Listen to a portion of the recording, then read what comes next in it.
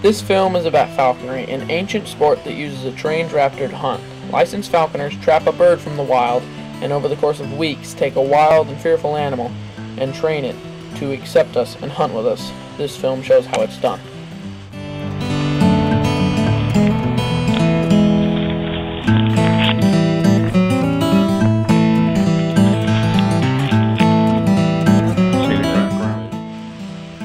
A beginning falconer may have one of three birds, the American kestrel, which is shown here, the red-tailed hawk, shown later, and the red-shouldered hawk.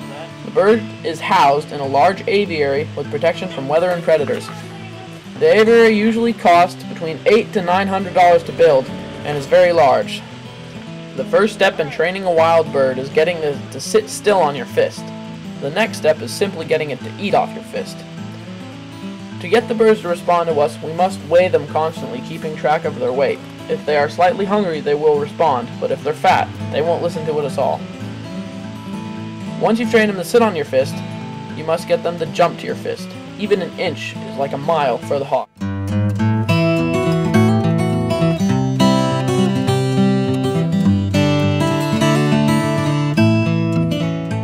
Once the bird is steadily hopping to your fist, you bring it outside and get it to jump about 6 feet to your fist.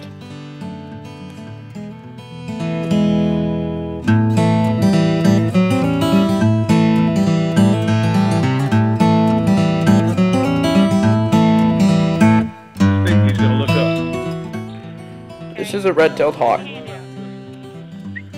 I blow the whistle and show a piece of meat and it jumps up to the fist. Reach over with your other hand. Secure. I take jesses leather strings attached to the hawk's feet and put them between the fingers on my glove. The hawk is now securely tied down.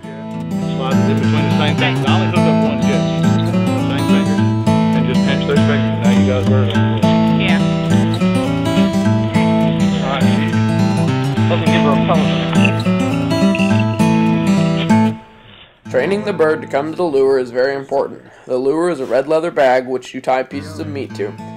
Even if the hawk won't return to your fist, it will always come to the lure.